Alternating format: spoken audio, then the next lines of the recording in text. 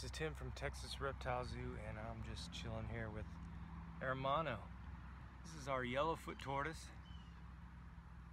That's his little penthouse there in Tortoise Town. Thanks for watching.